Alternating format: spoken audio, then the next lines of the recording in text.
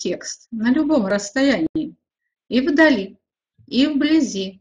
И все это благодаря научным разработкам выдающегося ученого, офтальмолога Уильяма Горацио Бейтса. И уже 10 лет помогаю людям избавляться от очковых линз, исправлять близорукость, дальнозоркость, астигматизм, косоглазие и оздоравливать глаза от глаукомы, катаракты, отслоения сетчатки и других проблем с глазами. Более 20 тысяч курсантов, тысячи положительных отзывов. Меня иногда спрашивают, надо ли верить в методику, которую применяешь.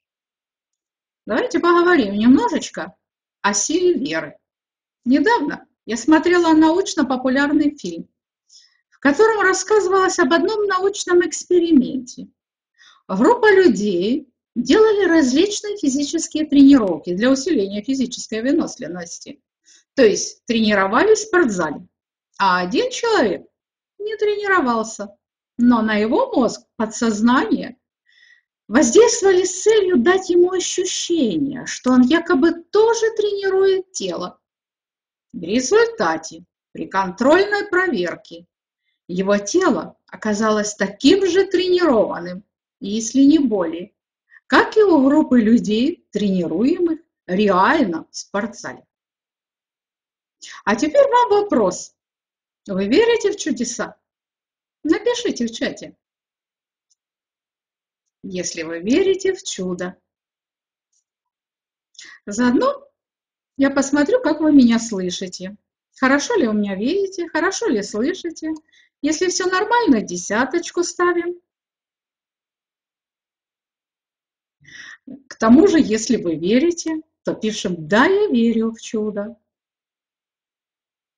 А потом еще вам расскажу, почему именно надо написать «Да, я верю», если вы верите. Для тех из вас, кто верит в чудеса, я вам расскажу об одном чуде, которое произошло со слепой женщиной в XVIII веке во Франции, в городе Лурде.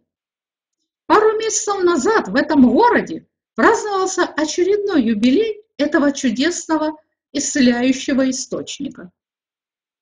К нему предпринимают паломничество страждущие со всего мира за обретением здоровья.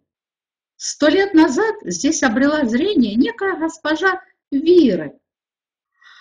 Она была полностью слепая, и когда промыла глаза водой, воскликнула «Я вижу».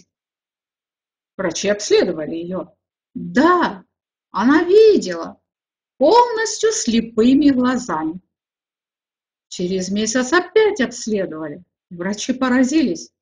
Глаза вновь стали зрячими, восстановив способность видеть.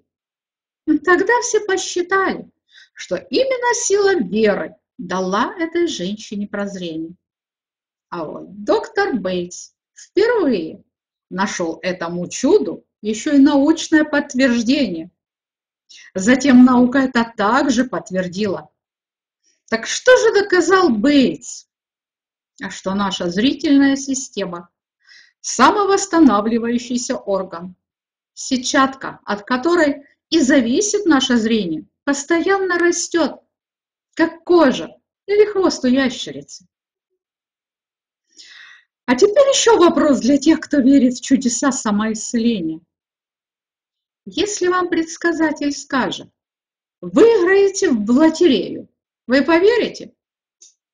Возможно. Второй вопрос. А ваша вера поможет вам выиграть в лотерею, если у вас не будет лотерейного билета? Логика вам подсказывает, что что-то, если что-то сбылось, для того, чтобы надо вначале что-то сделать. Правда? Вот госпожа из Франции предприняла многодневное паломничество – а мои курсанты воспользовались методикой, которую я им предоставила, и тоже прозревают. И сегодня у вас тоже есть хороший шанс избавиться от очков и хорошо видеть. Как говорится, невозможно спасти того, кто не хочет спастись. Сейчас я включу слайды, и мы продолжим наше занятие.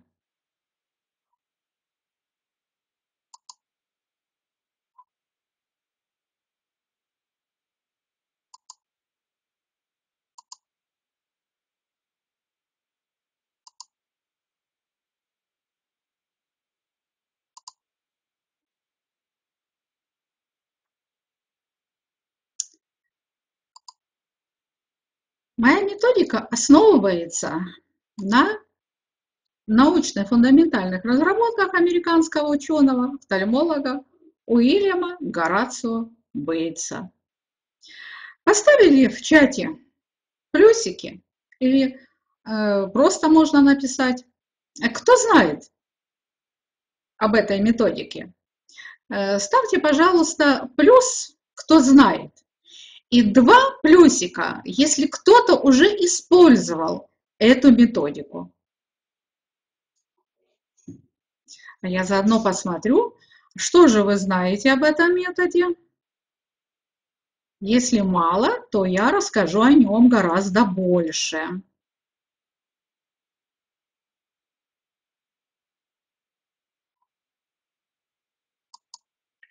Мало людей, которые знают о методе. Хотя четыре человека, ну тут я даже своих курсантов вижу, Елену, навсегда ходит на мои вебинары. Спасибо вам, Елена.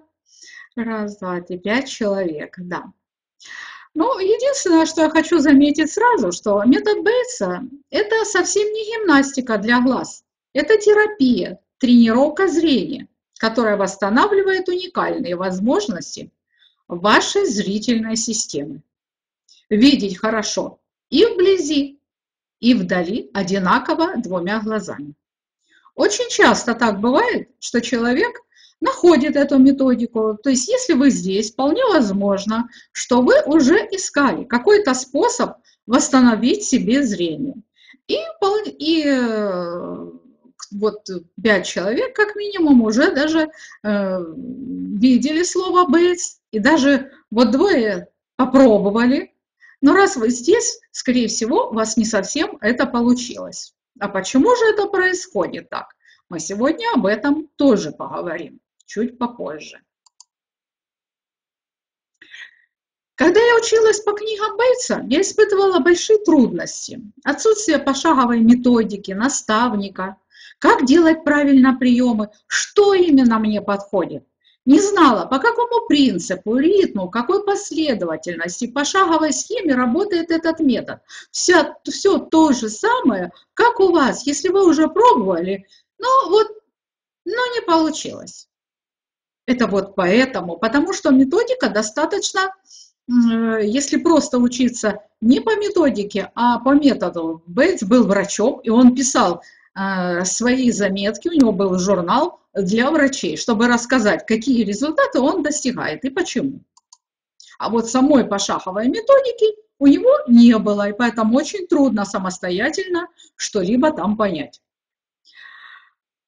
И поэтому я создала методику пошаговую, в которой вам нужно будет всего лишь навсего делать то, чему я вас учу. Я вложила сюда свой десятилетний опыт научной разработки Бейтса и современные технологии. Все, что вам необходимо делать, это просто следовать той инструкции, которую я даю. А теперь давайте проведем небольшой тест на то, как вы себя ощущаете. Очень часто бывает так, что человек, имея плохое зрение, думает, что все, что э, он получает э, при плохом зрении, это всего лишь навсего то, что он не может уже книгу читать, допустим, без очков. Ну и плохо видно э, вдали э, лица друзей, и друзья обижаются. И не связывает свое плохое зрение вообще-то с плохим качеством жизни. И сейчас мы протестируем вас, вы сами себя протестируете, и вы увидите, насколько плохое зрение связано вообще с э, вашими жизненными обстоятельствами. Ну, конечно, есть такие вещи, которые э, вам и так понятны. Например, все прекрасно знают, что если человек после 40 надел очки, то он выдал свой возраст. Да, это особенно актуально для женщин. Хотя очень часто мужчины тоже испытывают не совсем приятные ощущения, когда выдается их возраст. Итак, значит, мы сейчас себя протестируем. Э, на то, связываете ли вы плохое зрение с тем, что, э, что ощущаете еще. Работа. К концу дня компьютер и бумажная работа вас раздражает. Есть такое? Планируете работу на компьютере на утро, чтобы побыстрее справиться, пока нет усталости. К концу дня резко снижается производительность головные боли, давящее чувство в глазах. Часто путаете начертания букв или цифр. Волнуетесь из-за этого. Это часто бывает у бухгалтеров, они очень волнуются по поводу того, что они какую-то циферку э, неправильно ну, попутают. И поэтому они делают еще что-то, что еще более ухудшает зрение. Вам хотелось бы работать за компьютером быстрее, Часто отвлекаетесь от компьютера на перекуры, разговоры, разговоры по телефону. При разговоре по телефону не можете наблюдать, что делается вокруг. Жалуетесь на плохую память. Вот если есть это, уже можете сейчас написать в чате, что конкретно вы нашли из вот этого теста у себя, который вполне возможно вы не связывали с тем, что у вас плохое зрение, вернее, не плохое, а слабое, ослабленное. Пишем в чате. Следующее. Жизненные проблемы, связанные с ухудшением зрения. Тест. Отношения. При разговоре вам трудно сохранять с человеком зрительный контакт. Чувствуете потребность отклониться назад при разговоре или немного отходите. После работы никаких общений вам уже не надо. Оставьте меня в покое. После работы еле себя сдерживаете, чтобы не послать всех. Разговоры о курсах повышения квалификации раздражают. Мне это некогда делать. Хотя вполне возможно, что вы стремитесь делать еще какую-то работу. Например, как бухгалтера часто берут э, несколько работ, ну не только бухгалтера. Но не можете из-за того, что чувствуете, что вам ваши глаза не позволят это сделать. Семья не любит с вами разговаривать в автомобиле, да? Все водители, потому что вы очень злы. Все водители козлы, права купили. Есть такое у вас ощущение? И если есть, тоже пишем. Вот есть это у меня.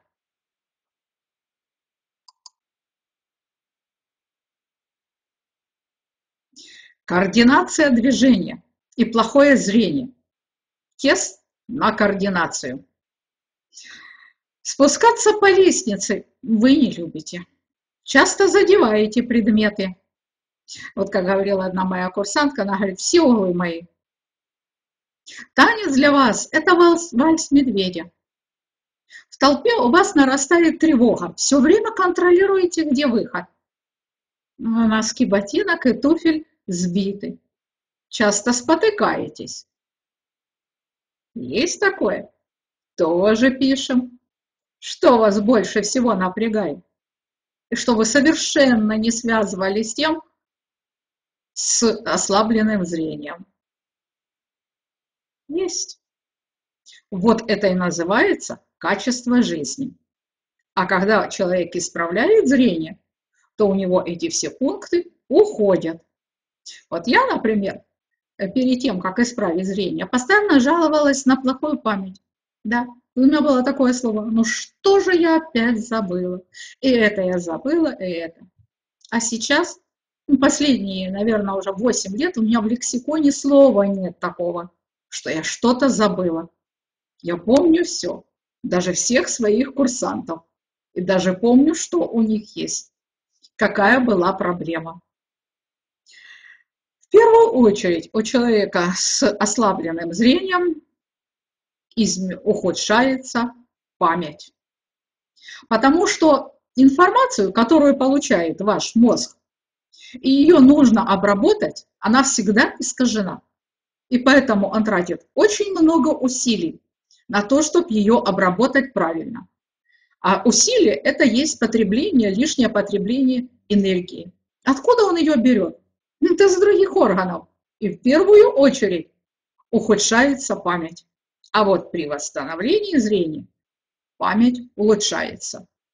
Кстати, еще есть одна проблема, которую тоже вполне возможно вы не связываете с, с плохим зрением, хотя частично может и связывать. Это головные боли, особенно где-то вот на уровне э, бровей. Вот у меня тоже была такая ситуация, когда э, вот головные боли раз в неделю вот обязательно появлялись. А сейчас я не могу даже вспомнить, ну, когда последний раз была. Ну, может быть, полгода, когда я ехала там в другой город, там долго в транспорте была. А так она меня не посещает. Все то же самое происходит с моими курсантами, когда они восстанавливают зрение. Вот вам еще один момент, который улучшается по мере улучшения зрения. Почему я это вам рассказываю? Да все для того, чтобы вы поняли, что хорошее зрение – это не просто, то есть наоборот, плохое зрение – это не просто очки, которые мешают. Это качество жизни. И поэтому чем, чем быстрее вы займетесь своим зрением, тем проще будет восстановить. Потому что есть такое понятие, как точка невозврата. Это когда у человека так ухудшилось зрение, что помочь ему реально уже бывает затруднительно даже таким эффективным методом, как вот это, как метод Бейтса и методика, которую я преподаю.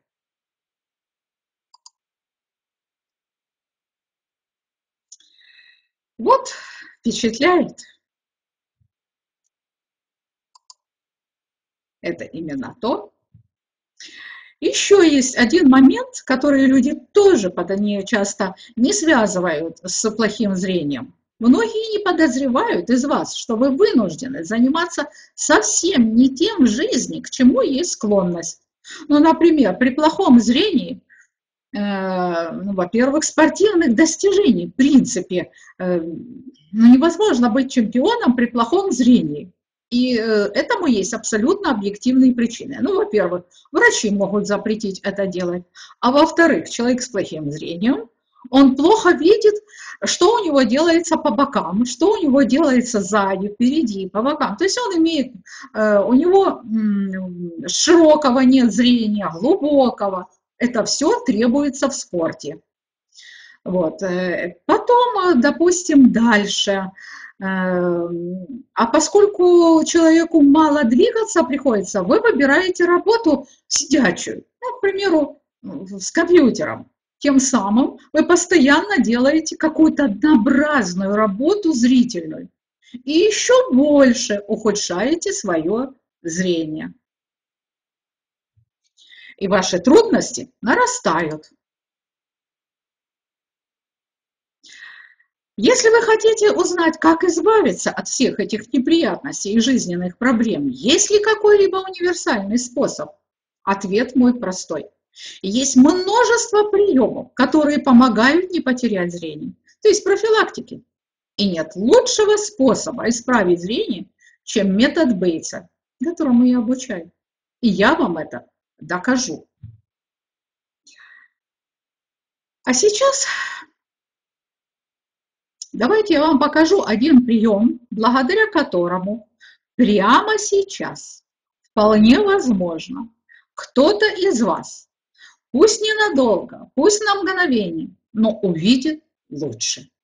К тому же сейчас кто-то из вас э, после работы, и поэтому этот прием будет, э, кроме того, что я покажу, как это работать, он, этот прием вам еще и поможет снять напряжение дневное, которое вы испытывали, работая своими глазками э, делая какую-то зрительную работу. Итак, этот прием называется пальмой. Кто-то из вас даже такое слово слышал. От английского слова, английско-американского слова ладонь. Этот прием дал нам сам Бейтс. Этот прием позволяет человеку снять напряжение с глаз. И очень много еще у него других функций. Но об этом чуть позже. Сейчас давайте просто проделаем этот прием. Этот прием мы будем делать с закрытыми глазами. Для того, чтобы вам его сделать, сейчас вам необходимо найти у себя дома какой-то предмет в комнате, или можете взять в руки книгу, если у вас, допустим, дальнозоркость, посмотреть на него на том расстоянии, с которого вы видите его плохо. Видите, ну вот расплывается, и вам хотелось бы видеть лучше. Запомните, на каком расстоянии, на какой предмет вы бросили взгляд. Потому что когда мы откроем глаза, после этого вы опять туда посмотрите и увидите то, что увидите, и напишите мне. Итак, сели в удобную позу. Локти поставили на, впереди, на впереди стоящие стол. Ну, если вы лежите, то надо придется встать и сесть за стол. Э, либо как-то сядьте так, чтобы локти обязательно упирались, на что-то упирались. Потерли ручки, сделали их вот так, потом сложили и одели себе на глаза. Локти поставили на стол. Пристроили свои ручки так, чтобы ни один квант света не попал. Если свет не попадает, глаза закрыли. И сидим так и слушаем все, что я буду говорить. Откроете глаза только по моей команде. Итак, расслабили мышцы ног. Расслабили мышцы бедер. Расслабили мышцы живота, груди, шеи. Расслабили носогубную складку, веки. Все ваше лицо отдыхает. А сейчас мысленно вспомнили или представили белую стену или экран. Внизу стоит ведро с черной красочкой и кисточкой. И вы сейчас мысленно будете закрашивать белую стену в черный цвет. Накладываю одна, одну полосочку рядом с другой, все более и более черную, так как у черного цвета более чем 265 оттенков. Мы это проделаем не глазками, а мысленно. Мысленно. Итак, справа налево начинаем закрашивать нашу стену. Первая полосочка черная, вторая еще чернее, третья еще чернее, четвертая, пятая, шестая, седьмая. Теперь слева направо еще раз закрашиваем эту же стену, чтобы она стала еще чернее. Первая полосочка, вторая, третья, четвертая, пятая, шестая, седьмая. Сверху вниз еще раз закрашиваем. Первая полосочка, вторая, третья, четвертая, пятая, шестая, седьмая. С правого верхнего угла в левый нижний еще раз закрашиваем. Первая полосочка, вторая, третья, четвертая, пятая, шестая, седьмая. С левого верхнего в правый нижний еще раз проделываем. Первая полосочка, вторая, третья, четвертая, пятая, шестая, седьмая. Вся стена у нас закрашена в черный цвет. Мысленно отошли, подошли и поставили маленькую черную точку посередине. А сейчас вы отправитесь в путешествие в мир, где все хорошо видят имеют здоровые глаза. И вы тоже будете видеть хорошо, убрав очки и исправив зрение. Вспомните на минуту солнечный закат, синее небо, зеленую траву, бирюзовое море, то особое ваше место, где вы чувствовали себя спокойно, счастливо. Ваше место покоя. Представьте, что вы видите перед собой воздушный шар. Вы влезаете в корзину шара с чувством полной безопасности. Шар медленно поднимается и направляется в ваше место покоя. Вы опускаетесь в своем месте покоя, осматриваете его. Вы отчетливо видите каждую травинку, каждую песчинку. Вы видите все лучше и лучше. Белки ваших глаз быстро светлеют, становятся ярко светлыми, как снег под лучами яркого солнца. Теперь вы знаете, что ваши глаза могут хорошо видеть. Очки им очень мешают, и вы понимаете, всю ценность глаз для вас. И то, что вся красота мира теперь будет открыта для вас. С сегодняшнего дня вы начинаете свою заботу о своих глазах. С каждым днем вы будете видеть все лучше и лучше. Если узнаете, что для глаз хорошо и правильно, как исправить зрение, как помочь своим глазам, огромная, колоссальная энергия вливается в ваши глаза. Впереди вас жизнь. Долгая жизнь ваших глаз. Видеть – это хорошо. Но хорошо видеть лучше. Вы возвращаетесь в настоящее время и место, чувствуя себя все лучше и лучше. А сейчас, не открывая глаз, отняли руки от лица и сделали глубокий вдох. Выдох. Еще раз вдох. И на выдохе открыли глаза, поморгали, посмотрели и посмотрели на тот предмет, который вы запомнили перед тем, как закрыть глаза.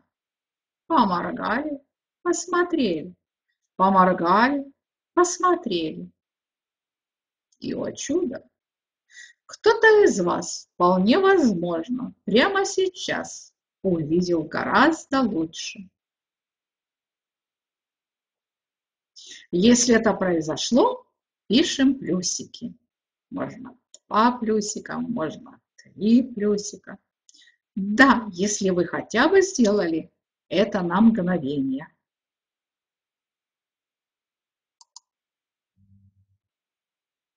Так, так, вот. Ставим плюсики, если мы увидели лучше. Кто увидел лучше? Что это для вас означает?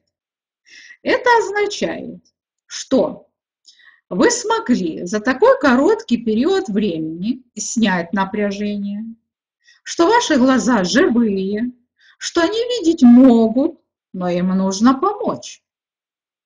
Кому не удалось увидеть сразу? Это означает для вас, что вам не удалось. Вам не удалось э, в данную минуту сосредоточиться на том, на чем я вас просила это сделать. Во время этого маленького тренинга Я вас просто учила сосредоточению. Всего лишь навсего я помогала вам сосредоточиться. Если вам это не удалось, значит удастся в следующий раз. Это будет обязательно, да. Не все делается с первого раза. А сейчас, поскольку я так понимаю, что э, мало кто знает о методе Бейтса, то в таком случае вы, наверное, скорее всего, еще забыли, либо мало знаете о том, о причине плохого зрения. Как устроены наши глаза? Что значит видеть хорошо, а что значит видеть плохо? Потому что если мы не знаем причину, почему у нас ухудшается зрение, то что, собственно говоря, исправлять будем? А теперь давайте, задаю я вам вопрос, давайте в чате работать интенсивно, чтобы я знала, что для вас интересно, а что нет. Значит, кто как определяет свою личную, свою личную причину, почему у вас ухудшилось зрение? Вот как вы думаете, что с вами произошло, почему у вас ухудшилось зрение?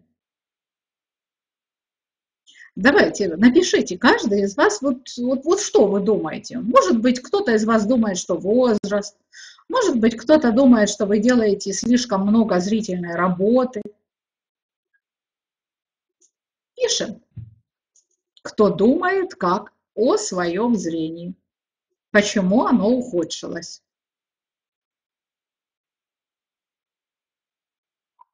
Почему же у вас ухудшается зрение? И куда оно, кстати, девается. Это очень важный момент знать. Ага, есть такой момент, у меня часто на курсах бывают э, люди, у которых есть диабет. И сразу, с вам, сразу могу вам сказать, Наталья Николаевна, что при диабете можно исправить зрение. Я не хочу сказать, что до 100%, но то, что вы будете видеть лучше, это однозначно. Вот. Вот один из э, причин, на которые ссылаются э, 80% людей, которым около 40 и чуть старше. Они говорят о возрасте, да, о возрасте. Знаете, у меня был один курсант, когда ему, когда он пошел э, к врачу, офтальмологу, и она сказала, что что же вы хотели в свои 40 лет или там 50 лет, и вот вы хотели хорошо видеть? Нет, вы слишком старый для того, чтобы хорошо видеть. А он взял и задал ей вопрос. Говорит, скажите, а вот как такое получилось? У меня, говорит, один глаз хорошо видит, а второй плохо. Что? Один молодым остался, а второй постарел. Врач говорит, ну не знаю я вам, не знаю, почему конкретно. У вас ухудшилось зрение, ну вы видеть хотите? Он говорит, да. Говорит, вот вам очки. Видишь? Вижу. Все, вопрос исчерпан. Поэтому не нужно ссылаться на возраст. И сегодня вы действительно узнаете, почему у человека ухудшается зрение. Куда оно девается? А для того, чтобы вам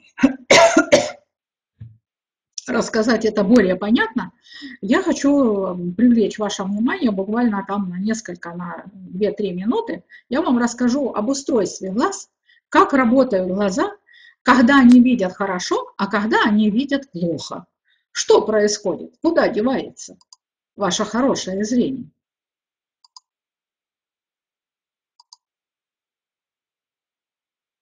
Вот перед вами картинка, на которой нарисована схема работы глазок. Так как же работают, как устроены наши глаза и как работает зрительная система? Теорию о том, как работают наши глазки, выдвинул еще 150 лет назад немецкий физик Герман Гельмгольц. Он предположил, что наши глаза – это своеобразный оптический прибор. Они имеют круглую форму, впереди имеется отверстие, внутри жидкий глаз, как шарик, а впереди имеется отверстие. Вот когда смотрите человеку в глаза и видите посередине черное пятнышко, это и есть отверстие. Называется зрачок. А для того, чтобы чего-либо туда не попало, зрачок прикрыт таким продолговатым, прозрачной пленочкой. Называется роговица. Далее, с другой стороны, зрачок прикрыт таким продолговатым телом называется хрусталик. Так как же человек видит? Лучи света, отражаясь от какого-либо объекта, проходят сквозь прозрачную роговицу, зрачок, хрусталик. И для того, чтобы человек вообще что-либо увидел, лучи света должны пронизать полностью глаз и оказаться на внутренней стороне нашего глазика, где у нас находится аналог фотопленки, так называемая светочувствительная сетчатка. Это от нее зависит, будет ли человек видеть вообще. Если с ней что-либо случится, любой свет человеку до лампочки. И если так э, не просто попасть, лучи света должны на сетчатку, а сконцентрироваться, сфокусироваться в точку. Точка называется желтое пятно сетчатки или макула. Там у нас находится самое большое количество светочувствительных клеток. И если это будет происходить, то вы видеть будете, вне зависимости от того, сколько вам лет, 3 или 93. Но мы же не смотрим постоянно на одно и то же расстояние. Да? То на 50 сантиметров, то на 500 бросаем взгляд. И хотим видеть везде идеально. Вот кто работал с фотоаппаратом, тот знает, что есть в фотоаппарате для того, чтобы мы сделали хороший снимок и вблизи, и вдали. Кто знает, можете написать. Но для тех, кто не знает, кто уже забыл, там есть объектив. Помните, нажал на кнопочку, выехал объектив, нажал, он въехал. А в этом объективе находится дополнительная линзочка. Она то приближается, то удаляется. И таким образом получаются хорошие снимки с любого расстояния. Так вот, для того, чтобы мы тоже видели, а это зрительная система, это оптическая система, у нас что-то должно двигаться. Оказывается, у нас движется хрусталик, и у нас движется глаз. Он вытягивается для того, чтобы посмотреть вблизи, и уплощается для того, чтобы посмотреть вдаль. И таких движений он делает до 150 раз в секунду. И если это будет происходить, то вы видеть будете. Но вот вы, к примеру, замечаете, что бегущую строку в телевизоре вы видите хорошо, но вот газету от себя надо отодвигать все дальше и дальше. Ну, обычно говорят, это не зрение плохое, это рука короткая. Но пойти на ее удлинение мы не можем, и поэтому идем к врачу, и врач ставит диагноз. О, такова же дальнозоркость. А если вам около 40, скажет старческая дальнозоркость. И на ваш вопрос, что произошло, врач назовет две причины. Первое. Хрусталик плохо движется. Он должен выгинать спинку, он плохо выгинает. А глаз? Потерял круглую форму, уплощился. Вот как на втором рисунке. А что произошло с оптической системой? А теперь лучи света, если бы доходили, концентрировались бы у затылка, а на сетчатке размытое пятно. Другой случай. Когда читаете газету, вы хорошо на нормальном расстоянии все хорошо видите, но вот бегущая строка в телевизоре вам не видна. И тогда вам ставят диагноз близорукость. И врач назовет те же самые две причины. Хрусталик плохо выгинает спинку, по-научному называется аномалия рефракции. А глаз потерял круглую форму, удлинился, стал как огурец. А что произошло с оптической системой? А теперь лучи света концентрируются внутри глаза, а на сетчатке размытое пятно. И на ваш вопрос, а почему это произошло, врач скажет, ну почему конкретно это произошло, я не знаю. Но вы видеть хотите? Да. Вот вам очки. Видите, вижу, все, вопрос исчерпан. Конечно, если вы зададите вопрос, который, ну, наверное, мало кто сейчас задает врачу, очки исправят мне зрение, то вы услышите ответ. Нет, если зрение ухудшилось, то можно только попробовать его остановить. А почему же? Но почему он так ответил? Раз. Второе. А теперь вы вспоминайте, когда вам первый раз выписали очки? Какая диоптрия там была? Кто помнит? Вполне возможно, это было плюс один, минус один, А вот если вы минимум полгода носите, допустим, плюсовые очки, это из своей практики, потому что я постоянно веду очные курсы и зрение проверяю людей до того и после того, после курса, на третий день или на четвертый. Вот, так вот, знаю точно, что если человек надел, у него было плюс начало, надел очки, э, то через пол, допустим, плюс один, то у него через полгода, но максимум через 7 месяцев будет плюс три с половиной, плюс три с половиной. И что же получается? У вас и так проблема. Вы плохо видите. Вам выписали лекарство. Оно ваше зрение ухудшило. А каким же образом оно ухудшило? А все очень просто. Внимание! Вам всегда выписывают очки только одной формы. К примеру, близорукому человеку выписывают очки вогнутой формы а дальнозоркому выпуклой.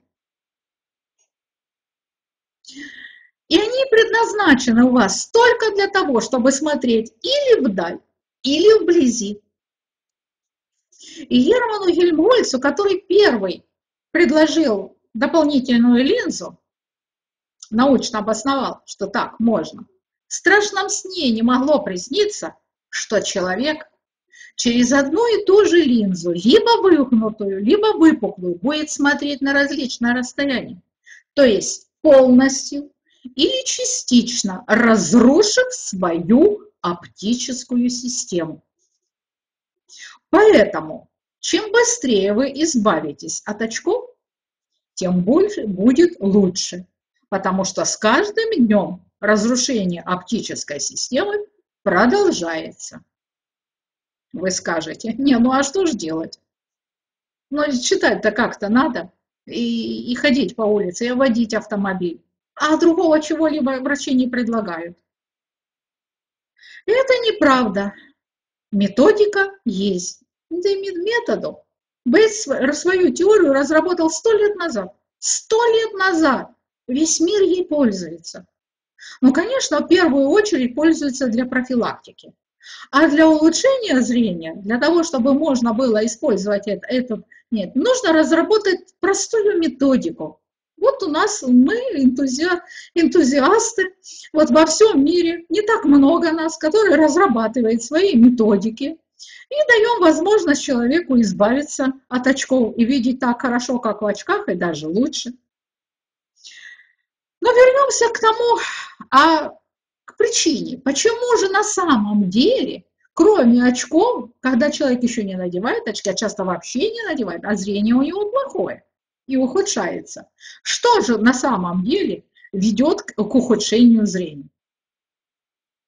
Ну, как вы знаете, благодаря чему у нас в организме, значит, э, благодаря чему у нас в организме все движется. Правильно, мышцы. Это мышцы двигают нашими глазками.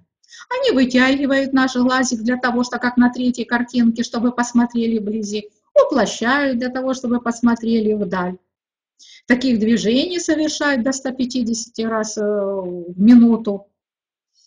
А близорукость происходит тогда, когда, к примеру, когда э, глаз вытянется для того, чтобы посмотреть вблизи, так и остается в таком, в таком напряженном состоянии, не меняя свою форму а дальнозоркость наоборот.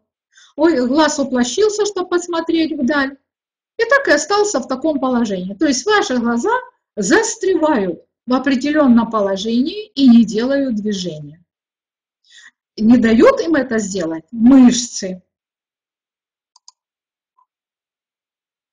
Сейчас я покажу следующую картинку, и вам еще станет понятно.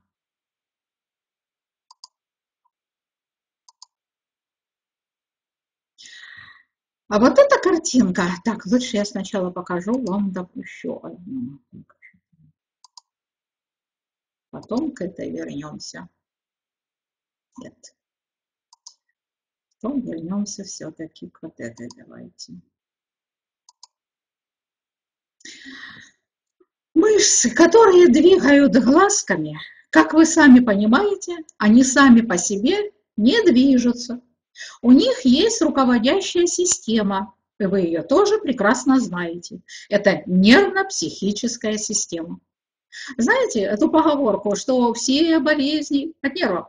Да? Так вот, для глаз это не сто процентов, это тысяча процентов. Почему? Да потому что в головном мозге у нас два зрительных центра, и мы видим не глазами, а при помощи глаз. Так, ученые говорят, что э, глаза у нас это рука мозга, которую он вытащил в окошко, чтобы посмотреть, а что там делается. И у нас не зрение, а зрительная система.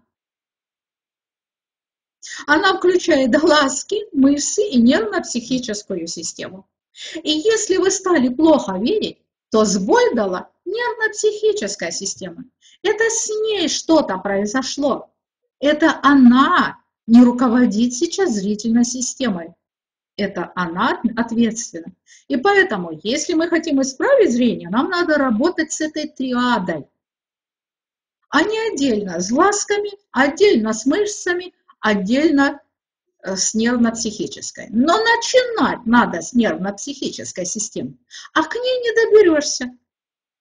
Вообще зрительную систему вообще трогать нельзя с точки зрения руками, там, лазерами и так далее, потому что без повреждения это не проходит. Как только пытается человек что-то сделать, ну, в первую очередь у нас сейчас э, врачи пытаются сделать что-то с глазами. То есть вот э, вытянутый глаз, э, поставить его на место они не могут, значит, попробуем часть от него отрезать. Отрезали частично, да, чуть-чуть легче стало. Вот. Но отрезали неправильно, значит, из близорукости превратится в дальнозоркость. И все равно это не на каждый день.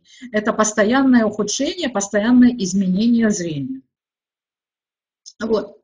А методика Бейтса, она как раз направлена, чтобы взять и восстановить зрение комплексно. Именно так, не со, не со зрением, а со зрительной системой работать. Работать со зрительной системой. И тут возникает вопрос, а ну так, э, а, а как? Где найти эту методику? Э, не только Бейтса, допустим. Может быть, кроме Бейтса кто-то еще дает методику восстановления зрительной системы? Ну вот, чтобы вам не скучно, а то, может быть, вы уже заснули от того, что я столько вам теории рассказываю. Э, давайте напишите в чате, какие методы восстановления зрительной системы, зрительной системы вы знаете.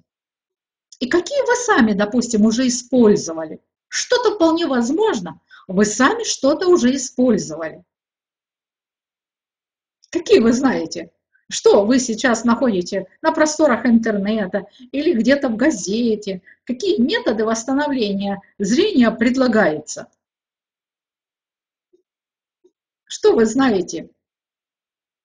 Ну, во-первых, один метод вы знаете – он, конечно, не касается восстановления зрения, а только лишь улучшения видимости. Понятно, что это очки. Да? Да. Какие еще методы из вас кто знает? Давайте пишем в чате. Пишем, пишем.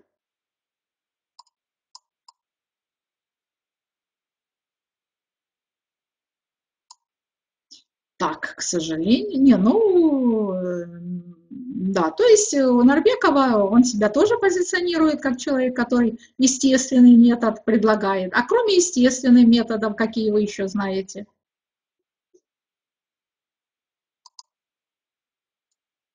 А знаете вы метод, э, значит, ну, в принципе, сейчас существует всего три метода. Первый – это очки либо линзы, это практически одно и то же. Вот. И сейчас в моде так называемая лазерная коррекция. А какой же и естественный способ, который предлагает ученый Бейтс? Все. Это вокруг вот этих трех э, способов и все крутится. А давайте мы сейчас сопоставим. А что каждый, каждый метод дает, даст вам? Вот каждый метод, что вам даст. Какие у него, у этих методов преимущества, а какие недостатки?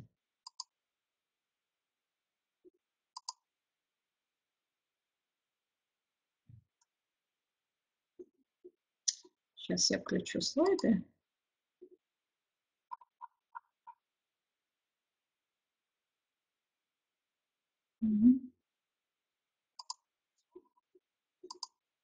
Так сейчас мы разберем, что же у нас тут делается со всеми этими методами.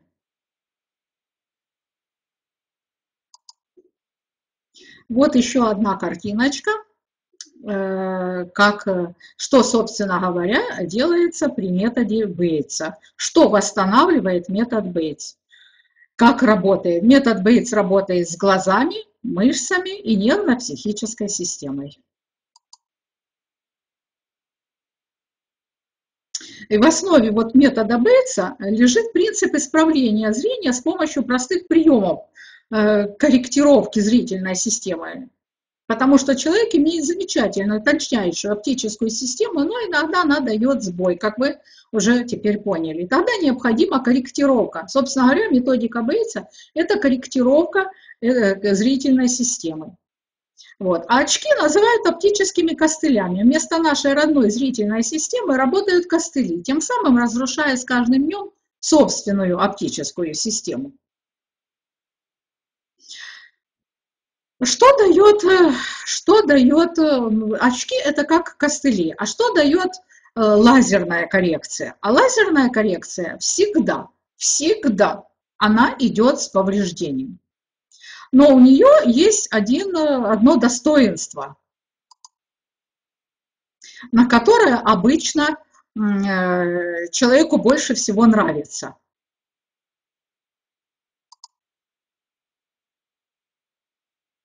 Но сначала давайте мы о недостатках поговорим. Вот недостатки очков и линз.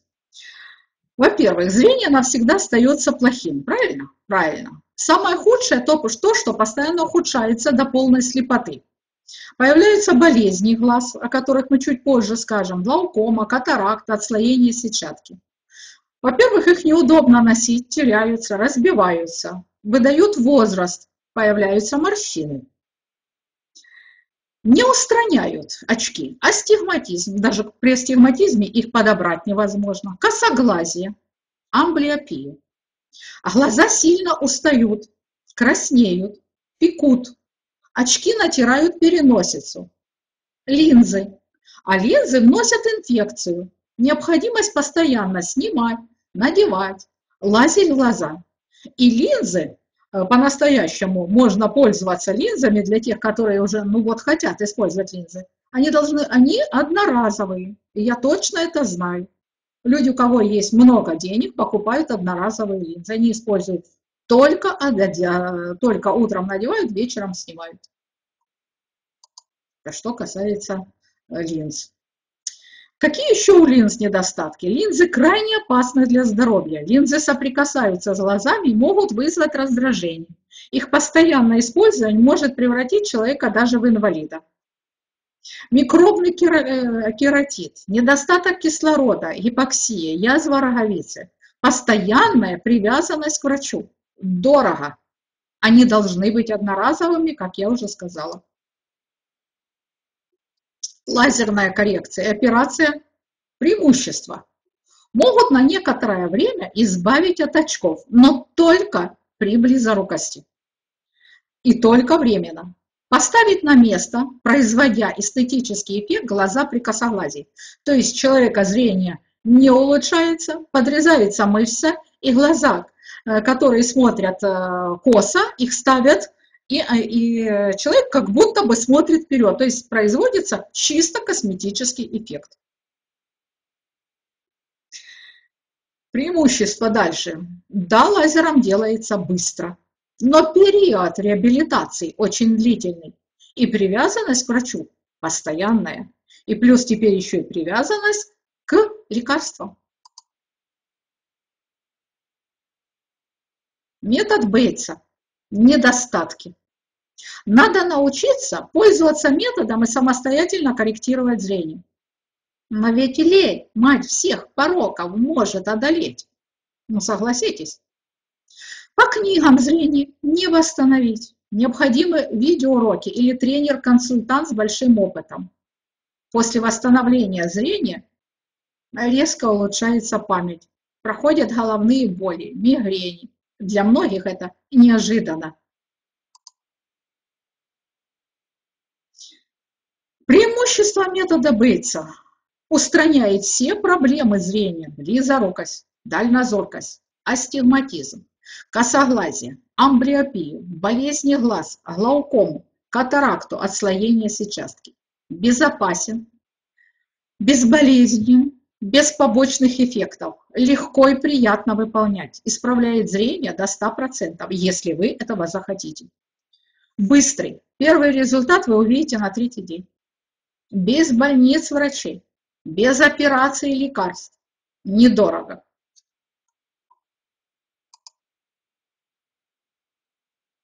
Так что же вам выбрать? Давайте сопоставим ключевые данные исправления зрения. Исправление зрения и финансы.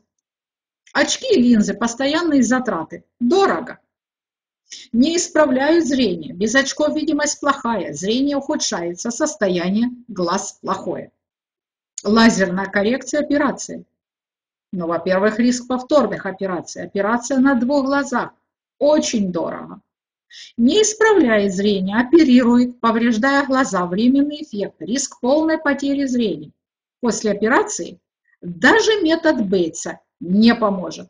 Поэтому те, кто подумает об операциях, то вы должны знать, после операции работать будет чем. Очень часто ко мне приходят люди и спрашивают, можете вы мне помочь? Я говорю, после операции, а с чем работать? Хрусталик там вырезали, все порезали, как же теперь быть? Метод Бейтс один раз исправил и навсегда. Дешево. Зрение исправляет, глаза не повреждает, оздоравливает глаза, избавляет катаракты, глаукомы, отслоений сетчатки.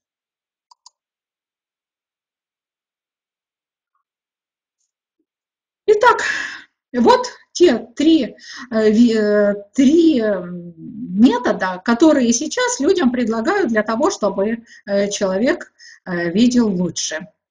Поэтому вы можете выбрать любой, но вы будете теперь знать и недостатки, и достоинства каждого из методов.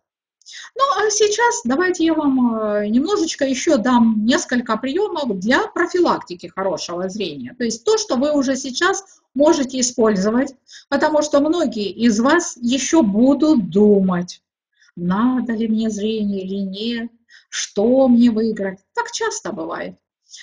И поэтому, э, чтобы вы, вы вышли с моего вебинара с пользой, я вам дам э, несколько еще приемов для того, чтобы вы помогали своим глазам, не оставляли их без помощи. Ну, первый, конечно, мой совет – это, если вы хотите, чтобы э, ну, хотя бы зрение не ухудшалось, то как можно меньше используйте очки. Используйте их только для тех целей, для которых они предназначены. Если вам выписали очки для того, чтобы в них читать, то только в них и читайте. Если для того, чтобы вы смотрели вдаль, только смотрите вдаль. Вы скажете, а что же делать? Снимать, одевать? Да. Да, это гораздо лучше, чем приклеить глаза, э, линзы к глазам. Гораздо лучше. И вы поймете, чем меньше вы будете использовать, тем вы поймете. Вы поймете очень быстро, что в конце концов вы можете свое, своими глазами видеть. Вы сумеете приспособить свои глаза. Ко мне когда-то на курс пришла одна э, девушка, и она приходит, а были уже сумерки, и приходит на вот таких каблуках. Вот. Ну, я сначала посмотрела, ничего не сказала, а потом, когда она сказала, что у нее минус 7, и она без очков пришла. То даже я спросила, говорю, а вот как вы ходите? Вот, ведь уже сумерки, ведь можно спотыкнуться, вы еще не начинали курс. Она говорит, знаете, я прочитала книгу, и там было написано, что надо от очков избавляться и пользоваться ими как можно меньше. Я не смогла восстановить зрение, но я сейчас очками так мало пользуюсь, что я уже легко даже вот как-то вот, ну вот иду нелегко ориентируюсь. То есть, если э, я хочу сказать, э, что э, обнадежить вас, даже то, что вы сейчас снимете очки и будете использовать их как можно меньше, вы очень быстро приучитесь, приучитесь к тому, что полагаться на себя, а не на очки. Кстати, вот это одна из проблем при исправлении зрения, когда люди ко мне приходят э, на курс, э, э, не постоянно хотят хоть периодически использовать очки, некоторые. Я по себе это знаю. У меня даже после трех месяцев, как я исправила зрение, постоянно рука тянулась к тому, чтобы найти очки. Вот смотрю в телевизор, и мне кажется, ну, ну вот ту брошечку там вот я видела лучше. Э, где мои очки? До тех пор, пока я не взяла и не выбросила их на мусорник. Все. А, кстати, у американских наших э, э, соратников вот, по Бейтсу, у них, значит, такая, есть такой прием. В конце курса все бросают свои очки и топчат их ногами, разбивают чтобы никогда ни у кого боже, больше не было этих очков. Я несколько раз предлагала на своих курсах, но вот наш народ немножко, ну, жалко. Жалко использовать бывает оправа у человека по 300 долларов. Вот, кстати, те, у кого оправа очень дорогая, вот они очень быстро избавляются. Говорят, да ладно. Вот. А тот, кто... Так бывает. Дальше. Как вам работать с компьютером? Вы сейчас все используете компьютер. И, конечно, конечно же вы, вы неправильно с ним работаете с точки зрения зрительной нагрузки, использования своих глаз. Э, первый закон э, глаз – это движение. Наши глаза видят только тогда хорошо, когда они постоянно находятся в движении. Как только мы пробуем что-то достать, ну вот, допустим, смотрите на ценник, и он вам не виден. Что вы обычно делаете? Э, прищуриваетесь, жмуритесь. В это время вы меняете, вы глаз меняете форму не в ту сторону. Раз. Второе. Вы пробуете как бы как просверлить дырочку в этом ценнике. То есть тщательно так смотрите, так пристально. И у вас все расплывается. Вот так смотреть нельзя. А как смотреть? А смотреть? Посмотрите сначала на продавщицу, потом быстро переведите взгляд на ценник, потом обойдите, посмотрите на тот предмет, который... То есть походите взглядом вокруг, а потом периодически бросая взгляд на то место, которое вы хотите увидеть четче. И вы увидите четче. Вполне возможно. А вполне возможно первое время и не увидите. Но ну, не пугайтесь. Начните хоть что-то делать правильно. Дальше. Как работать с компьютером? Ну, ну, вот вы сейчас на меня смотрите, да? И смотрите, вполне возможно, тоже пристально, рассматривая меня, э, смотрите, что я там так тщательно говорю, показываю, вдруг что-то пропустить. Не волнуйтесь. Для того, чтобы э, все видеть меня и слышать прекрасно, Переводите периодически взгляд с монитора, допустим, за монитор, на свои ручки, на один уголок монитора, на второй. То есть глазки постоянно переводите. То на клавиатуру, бросайте взгляд на различные расстояния. Не играет роли на какое. Вот чуть-чуть снимите. Вы, как только вы переводите взгляд, вы снимаете напряжение. И вы не присматриваетесь, значит, напряжение снято, глазки начали двигаться, и вполне возможно, вы увидите лучше. Еще. Вам надо научиться как можно чаще моргать. Во время моргания происходит снятие напряжения с мышц, которые держат ваш хрусталик. А хрусталик очень часто бывает так, что в нем э, появляются с него плохо выводятся шлаки. Это обычно происходит с людьми, которые плохо видят. Никогда не появляются какие-то мушки, какие-то амебы перед глазами у людей, которые хорошо видят. А что значит появление перед глазами каких-то объектов плавающих? А это означает, это вполне возможно означает, что к вам пришла незваная гостья, глаукома или катаракта. Давайте сейчас сами себя протестируйте. Э, скорее всего, многие из вас у врача не были очень давно и не знаете, что у вас там с глазками происходит. Но вы хоть будете знать 10 признаков, которые обязательно нельзя пропустить, чтобы не было поздно. Итак, а потом мне напишите, а что, что вы у себя нашли. Ну вот утром, допустим, открыли веки, посмотрели на потолок, а на потолке летают мушки, амебы, какие-то точки, туман стоит. Встаете и очень долго не можете навести глаза на резкость. Посмотрели на ярко освещенную лампу, вокруг нее ореол. Часто бывает, что как, как будто бы песок в глазах, э, слезы текут, слез или слез нет. 15 э, минут читаете, больше не можете, такое напряжение в глазах. Глаза постоянно краснеют. Э, начинает как-то падать зрение боковое, то есть появляется зрение, что вы видите в основном только то, что у вас впереди, а вот по бокам как-то совершенно не замечаете, что находится. Вот такие небольшие признаки, э, которые вы у себя вполне возможно нашли, и говорят о том, что или глаукома, или катаракта, или отслоение сетчатки у вас может быть, может и не быть, а может и быть. Признаки этих э, заболеваний, они почти все одинаковые. Эти заболевания называют тихим вором глаз. Почему? Да потому что, вот если вы хоть что-то нашли у себя, пишите в чате, что нашли. Но ведь правда же, они вас сильно не беспокоят. И болезненности нет.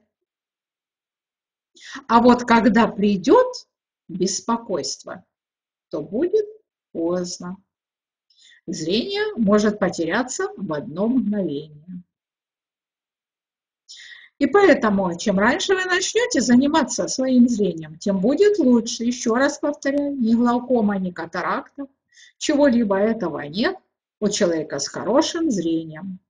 И катаракта, глаукома могут уйти при исправлении зрения. Я не хочу сказать, что эти болезни уйдут сразу. Нет, нужен период, период реабилитации.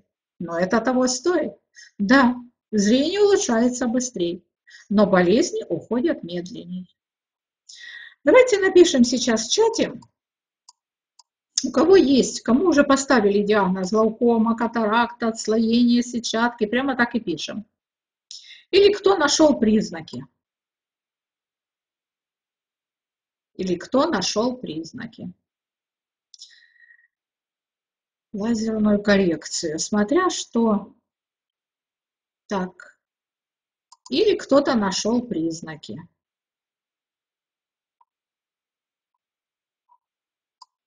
Пишем, я пока наблюдаю.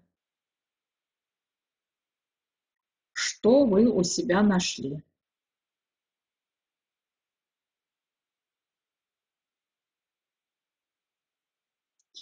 А дальше еще сделаем несколько упражнений.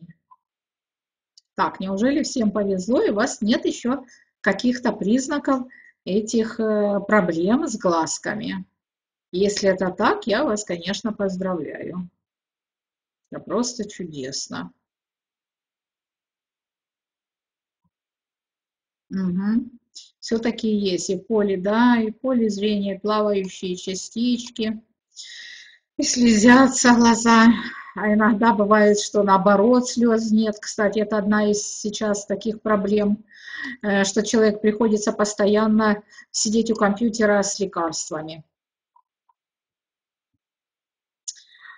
А сейчас давайте еще поработаем немножко. Я вам покажу один прием, который еще больше вам покажет, э, что у вас с глазками и что мы, собственно говоря, будем исправлять. Взяли ручку и тетрадку.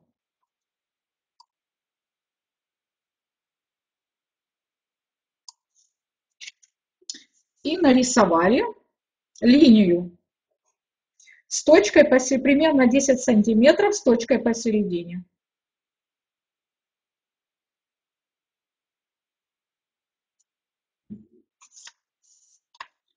А теперь поставили лист бумаги перед глазами, сосредоточили взгляд на точке, чуть-чуть отвели, чуть-чуть подвинули к себе. И вдруг кто-то из вас заметил, что линия, была линия и одна точка, превратилась в букву Х с пересечением в точке. Вот такой крест получился, косой крест. Еще раз смотрим не на линию, а на точку на линии. Отводим, подводим, моргаем. И вдруг вместо одной линии видим две. Можете нарисовать или сказать, что вы видите. Видите ли вы крест косой, либо вы видите букву L, либо у вас параллельные прямые. И я вам скажу, что это такое.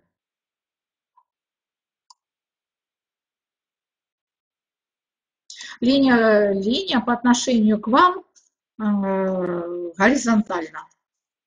Вот она линия, вот так. Вот видите? Вот она нарисована и вот так. Делаем такие движения, пробуем найти место, где у вас появляется вот такая буква. Еще раз.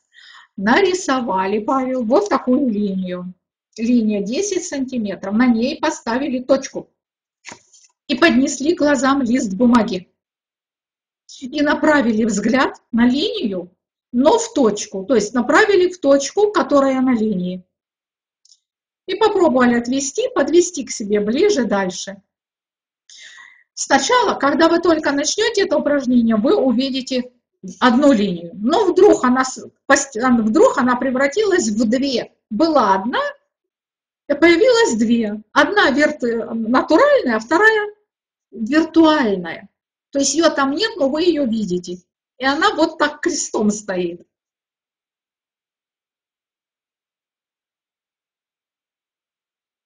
Вот, параллельно. А вы, для того, чтобы, Павел, у вас не параллельно была, вы попробуйте, вы попробуйте смотреть только в точку.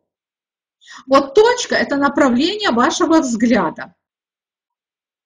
Вам нужно смотреть в точку.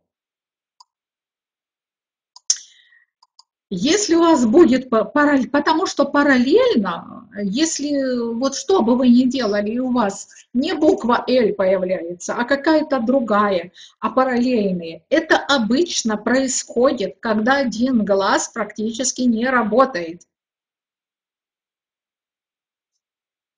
При катаракте. Когда глаза есть, но работает один глаз и тогда идут параллельные.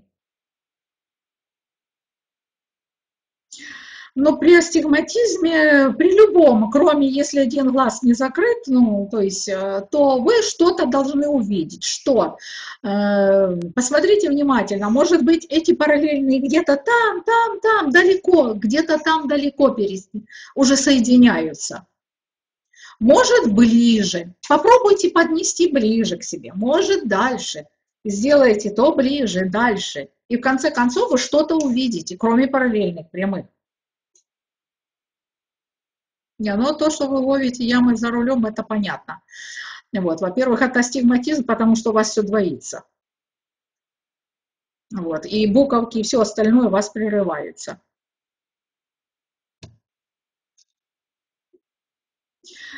Э, только линию надо держать к себе концом, да надо желать. Ну, можно и дальше. Просто э, если вы, если вы э, можно ближе, дальше смотреть. Вот, тоже. Одну линию. Ирина, для того, чтобы увидеть две, посмотрите. Тут такой момент. Вы смотрите в точку. Если вы, вы должны увидеть две. Вот как-то они будут идти, или пересечение. Вот точка, я вам специально ставлю точку, это направление вашего взгляда, куда вы должны взгляд приклеить, моргая. В эту точку. Если одна линия постоянно, одна линия, это когда один глаз полностью закрыт. Вот если вы, кто-то из вас, вот можете практически, закройте один глаз, вы не увидите уже двух параллелей, вы не увидите никаких двух линий, не увидите, будет только одна. Если у вас одна линия, вы правильно делаете, просто смотрите, то у вас должна быть вторая, параллельная, или такая, или такая, или какая-то, но она должна быть. Татьяна. Если она одна, вы смотрите одним глазком. Один глазик. Вот, закройте все и посмотрите. Сразу будет одна. Как только открыли, будет две.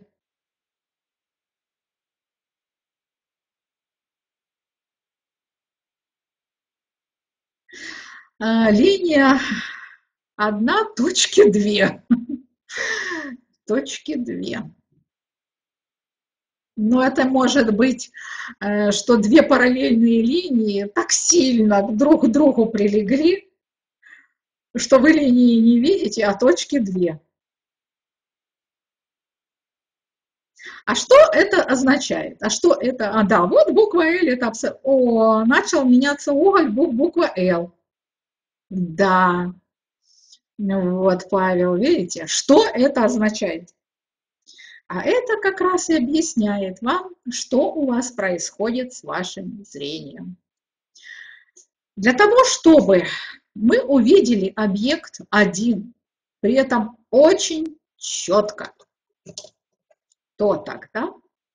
Зрительная ось одного глаза поворачивается на этот объект, и другая поворачивается на, другу, на, на этот объект. И если они соединятся, это называется конвергенция, мы видеть будем идеально. В данном случае вы будете видеть крест. Вот кто видит крест, кто видит крест в этой точке, если бы там вместо точки была буква, даже самая маленькая, вы бы ее увидели. А кто видит две точки, то значит, если бы там был шрифт, а стояла бы буква, вы бы видели две буквы А и А. Одна на вторую накладывается, и вы видите серенькую, она смазывается. И буква нечеткая. Что дальше происходит? И поэтому восстановление зрения – это восстановление, на самом деле, это восстановление возможности ваших глаз совершать конвергенцию, то есть соединяться в каждой точке пространства. А у вас сейчас происходит такая картина. Если вы где-то хорошо, четко что-то видите, то в этом месте, где вы видите, у вас конвергенция есть, и там крест есть в любой точке пространства.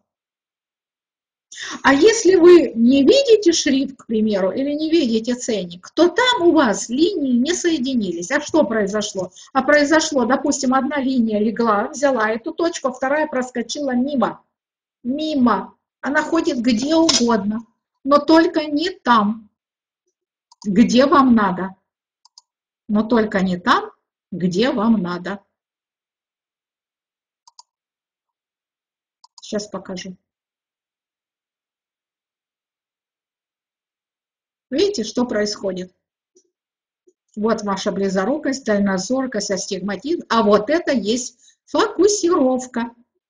Вот так если ваши зрительные оси сойдутся на кончике карандаша, видеть будете. А если одна ось куда-то отклонится, вы будете видеть, вы будете видеть плохо. Но если вы в каких-то местах видите хорошо, а где-то плохо, это говорит, ваша система зрительная работает. Просто она вот тут работает, а тут нет. Знаете как, тут читаю, тут селедку заворачиваю. То есть есть какая-то, какой-то барьер, который вы не можете перепрыгнуть. Что это за барьер? Откуда он взялся? Это загадка, но он есть. А наша задача его преодолеть. Можно это делать? Можно. Вся методика Бейтса рассчитана именно на тренировку зрительной системы. Это третий ее этап. После того, как это как, знаете, как запустить машину. Сначала, допустим, вы два года, у вас машина стоит в гараже. Вы пришли, сначала пыльствовали, потом посмотрели, потом попробовали ее завести, она не заводится. Вот. Вы сделали ей профилактику и завели на холостой ход. Вот она уже вроде бы как начинает, но вы еще боитесь на ней ездить. Выехали, там по двору поехали, поездили. Но чтобы ехать тысячу километров, куда вы собрались, э, то, скорее всего, вы не решитесь, потому что вы не знаете, выдержит или нет ваша машина. И вот э, методика Бейтса, она такая же точно пошаговая. Вот, шаг первый, это мы запускаем в работу ваши глаза. Шаг второй, мы даем возможность э, восстановиться э, глазам и мышцам. И шаг третий, мы начинаем калибровать зрительную систему на фокусировку. Вот, вот это. Можно переступить хоть один шаг? Нет. Нет. Нет, методика должна быть пошаговая. И такую методику я вам предлагаю. Вот она сделана у меня именно таким образом. Именно таким образом она и сделана. Что я вам могу предлагаю? Что я вам предлагаю? Я предлагаю вам пройти у меня курс. И у меня к вам сейчас эксклюзивное предложение. Сейчас, значит, что я сделала для людей, которые хотят исправить зрение? Я разработала очень много э, и видеотренажеров для калибровки зрения, и саму методику отшлифовала в течение 10, 10 э, лет. И сейчас она у меня уже выстроена в портале. Портал, своеобразный портал хорошего зрения где у вас будет свой кабинет, где у вас будет пошаговая методика, день первый, день второй, неделя вторая, неделя третья, что вам не нужно делать, э, как нужно делать, что делать утром, что вечером, видно видео, показано, рассказано, как это все сделано. Вот. И к тому же, раньше моя методика была записана на, видео, на видеодисках, и продавала я только видеодиски. А сейчас, в связи с тем, что я открываю портал, у меня к вам эксклюзивное предложение, пока он еще, так сказать, в тестовом режиме идет. Вы сегодня можете заказать и в течение трех дней оплатить, воспользовавшись именно вот этим предложением только три дня. Значит, э, вы можете заказать видеокурс, это курс, записанный на 2, 6, 6 видеолекций, методичка, специальные тренажерные таблицы – и к этому видеокурсу, который раньше продавался абсолютно отдельно, я дам вам допуск в этот портал на 10 дней. Плюс для тех, которые серьезно относятся к своему зрению, а вы покажете это, потому что вы прямо сегодня хотите этим заняться. Вот, если вы серьезно относитесь, я проведу для вас индивидуальную скайп-консультацию. После того, как вы оплатите курс, вы должны написать мне, вы напишите э, по электронной почте о том, что просите доступ в портал, э, когда вы будете готовы, и просите меня провести с вас вам отдельную консультацию, личную консультацию по скайпу. И это все будет входить в единую стоимость того, что вы приобретете. Что вы будете иметь? Как вы будете работать? Я вам сейчас рассказываю, что из себя представляет курс, какие у вас будут возможности, что, что вы приобретете в результате прохождения курса. Вы найдете и устраните причину, которая ухудшила ваше зрение. Обучитесь приемам, которые восстанавливают функциональную работу глаз обучитесь принципам хорошего зрения и далее сможете продолжить глазами.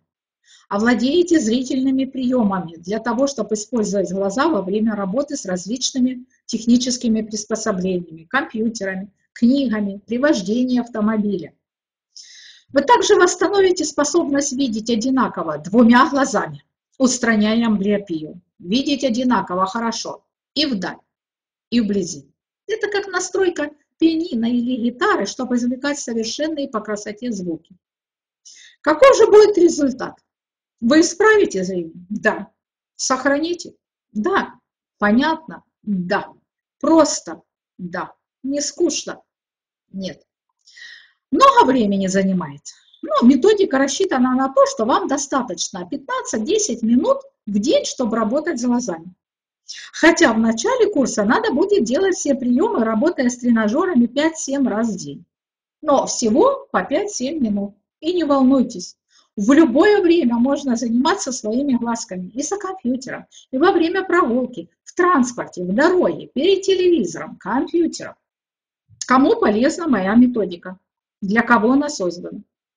Для близоруких, дальнозорких, при астигматизме, косоглазии и даже при болезни глаз, глаукоме, катаракте, отслоении сетчатки.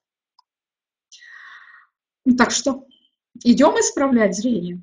Или вы опять собираетесь скачивать кучу книг, искать бесплатные курсы на торрента, которые все равно не применяете на практике. Ведь задать свой вопрос наставнику не удается. Без наставника очень сложно. А я консультирую всех своих курсантов вне зависимости от того, что они у меня приобретают пожизненно. То есть вы всегда по электронной почте или в скайпе можете задать мне свой вопрос и решить его оперативно. То, что я вам предлагаю, это готовая система, которая помогла и мне, и моим ученикам достигнуть феноменального зрения за очень короткий период времени. Моими курсами воспользовались более 20 тысяч людей. А сейчас, когда на выходе портал, где я предполагаю, что люди со всех стран мира, на, на всех языках он будет, то это, это будет то, что аналогов в мире нет. Потому что те видеотренажеры, которые я работала, э, два года над которыми работала, аналогов в мире им нет. Они значительно ускоряют способность, вашу способность восстановить именно зрительную систему, именно конвергенцию. То, над чем не работает практически никто. Очень многие те, которые слышали об этой методике, они слышали только одно единственное слово. Это какие-то упражнения для мышц глаз. Нет, нет. И вы сейчас, когда вы делали этот прием с эм, этой линии вы убедились, ничего здесь не касается абсолютно мышц глаз. Этот прием, который я вам показала, настраивайте свои глаза. Это рабочий прием, как и все приемы, которые я вам до этого показала. Это и пальмин, и то, как работать с компьютером, и то, как работает движение глаз правильно, и даже этот тренажер, работа с эм, этой линией, тоже является тренажер. Это все тренажеры. Почаще давайте отдых своим глазам. Пальминг можете делать 2-3 раза в день.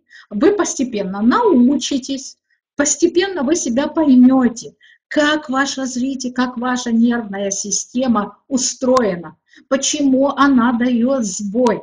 Мои курсанты иногда только к третьему дню понимают, а что с ними происходит? Почему они постоянно, у них глаза в напряжении? Почему зрительная система не регулируется? И у вас все будет.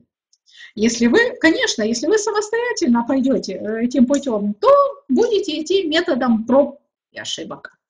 Вот. А со мной и вы могли бы гораздо это быстрее делать, гораздо быстрее, потому что вы пойдете по проторенной дорожке тех людей, которые давным-давно исправили себе зрение.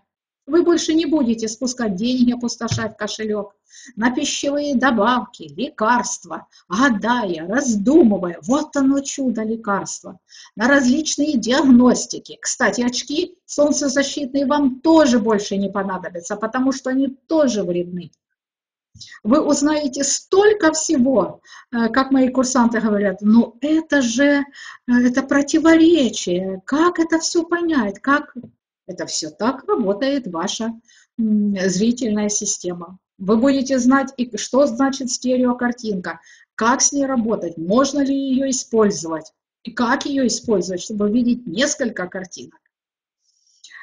Вы не будете больше копить деньги, а главное, на операции, которые, кроме повреждения ваших глаз, вряд ли что делают. Как сказал один врач, операции без последствий не бывает. Если бы, они, если бы мы операциями могли спасать глаза, врачи бы себе их делали. Но, к сожалению, они не делают, потому что они это прекрасно знают. Итак, пока вы еще думаете, хотите вы э, исправить свое зрение или нет, если у вас есть вопросы, на которые я еще не ответила, потому что я веду курс э, вебинары постоянно и знаю все ваши вопросы, то задавайте. Я сейчас отвечу на ваш конкретный вопрос. Воспользуйтесь пока возможностью задать мне все свои вопросы. Я вам все отвечу, как это все у вас работает и почему. Вот. А то, что я вам предлагаю, вы, кстати, можете даже, конечно, вы хотите знать, а будете какая-то либо гарантия, что у вас получится.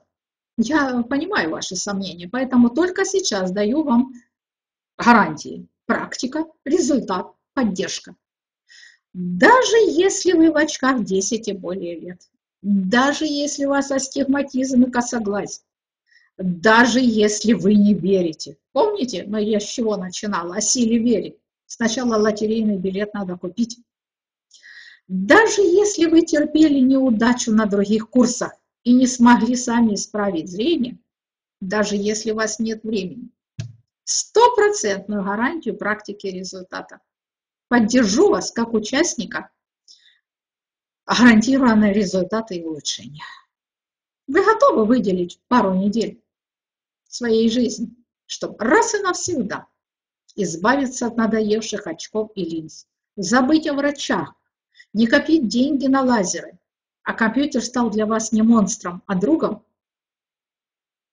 тогда ждите на кнопочку «Заказать» и заказывайте. В течение трех дней можете оплатить. А за это время вы можете у меня еще и спросить, если вам что-то непонятно.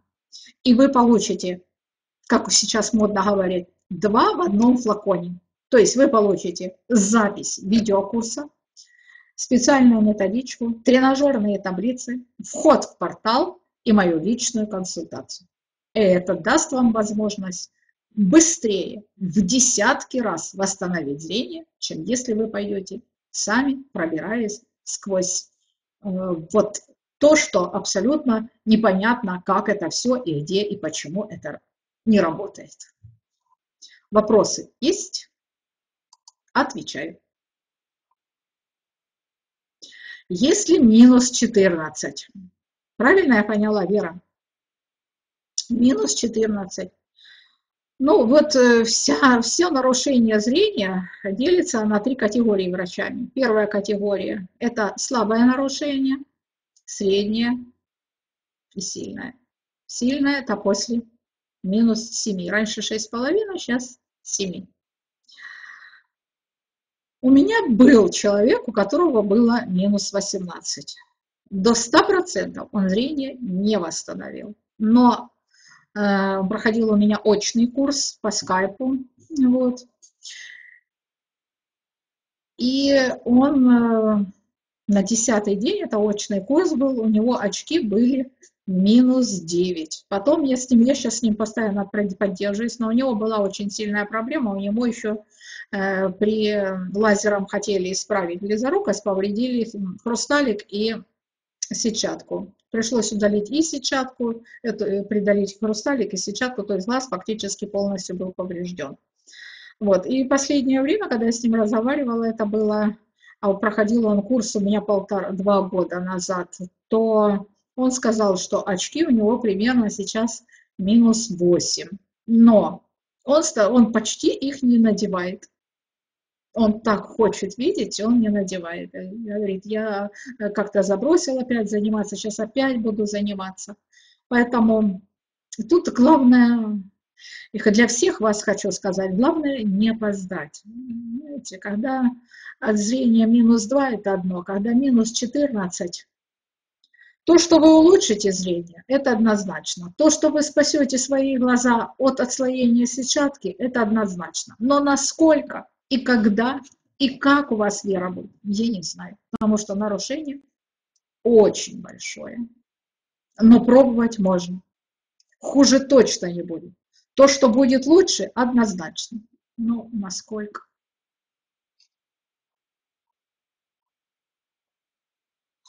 Еще вопросы, вопросы, вопросы.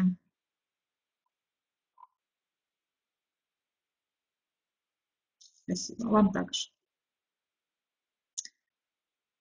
Так, у кого еще есть вопросы?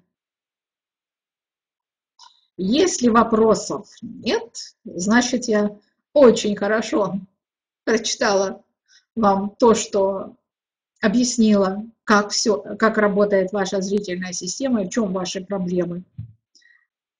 Благодарю за внимание. Тогда можете отправляться на следующий вебинар. Но, конечно, вы устали, поэтому я рекомендую сделать еще один пальмик перед следующим вебинаром, чтобы сильно не напрягать свои глазки. Еще раз напоминаю о профилактике. Я вас покидаю. Благодарю за внимание еще раз. До, след... До новых встреч.